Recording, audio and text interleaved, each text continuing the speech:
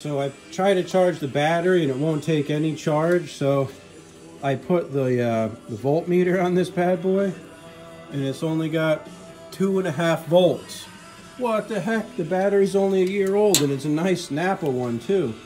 All right, so the Napa Legend here in the 817 has been charging for like five hours and it still has no charge. So I'm taking it out and uh, I'm gonna put in a value power that I had sitting in my garage. So see what we can do here.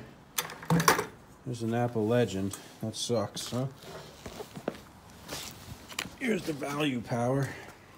Okay, I got the value power in here. Let's see what happens if I come around and hit the key switch, if it will actually crank over the starter or not. Um, let's see, put this in neutral and hold it in.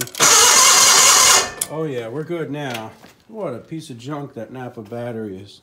Thing's like a year old and it had two and a half volts. So you put the hood back on and then we'll see if we can start her up. All right, so I hit the primer on the um, fuel pump and I got the battery all back in and everything. Let's see if we can start this thing up or what.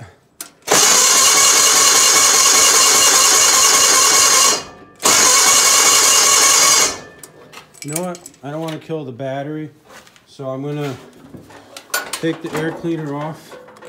Just throw a little gas in there. I better check the gas tank too, see if we got any gas in the tank. Let's see. Need my flashlight here. All right, let's see. The tank has some gas in it. What the heck is that floating in there? There's like a cork float in there. That's so funny. I never noticed that. I don't know if you can see it in the camera, but it looks like it's the, um, like it had a, a gas gauge in there at one point and the float fell off and is sitting in the tank still. That's cool. All right, so I'm just gonna put a little bit of gas in there and then we'll try to start it up. Right back here in the carb and we'll see what happens. Okay, I put some gas in the carb and spilled it on my fingers at the same time. Awesome. See what happens now.